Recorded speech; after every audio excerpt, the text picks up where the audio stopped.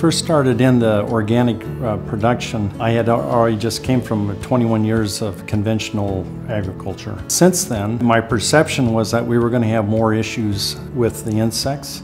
Um, we definitely have problems with the weeds, but disease and the insects uh, it's been my big surprise because it seems like with the fertilization through a carbon-based type uh, fertilizing in the organics, we've been able to grow a quality product with the products that we have available that we really don't see a lot of insects out there in the organics. And we've been able to keep a fairly good handle on the different uh, diseases on the organic uh, commodities here on our farm.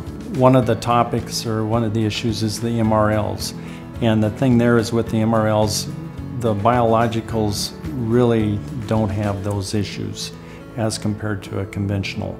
Uh, and so the, product that is brought onto the market right now can basically be streamlined into the implementation of the product out on the farm much sooner than it can through a conventional. Uh, and if that's the case, then it is a cost savings to the to the grower um, on something like that, but it's all cost savings back to the, the actual manufacturer. Pests and diseases, it's an ongoing, ever-changing uh, environment out in, out in the real world. And that's what we're farming, is out in the real world.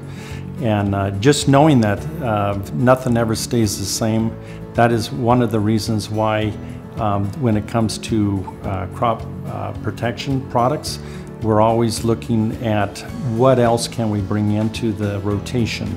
Going from a conventional setting to an organic setting, I, I think that's been part of what has driven the, uh, our interest in the biologicals. Um, because a lot of the organic products are biological products that we have access to.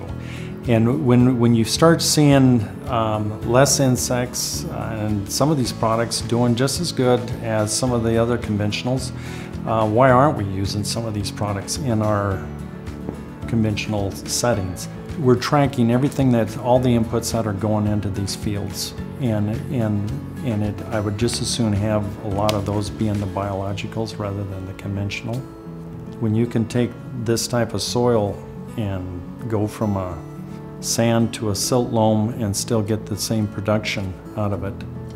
And you're, once again, we're, we're asking the biologicals to do the same thing from a sand to a silt loam or a pH of 6.2 to an 8.2 and they've got to still produce and they still got to work for us as the grower. It's very interesting to see how uh, the biological system does work. It's not just for the end user, as we have talked about the consumer, but it's also the employees that work here on our farm that are actually implementing the products. Uh, when you start focusing on the employees, then it's a win-win as we transition from a conventional setting into an IPM biological type uh, system. I still enjoy coming to work because it, it's new. And, and that's what the, the IPM sustainability, thinking outside the box and making this thing happen.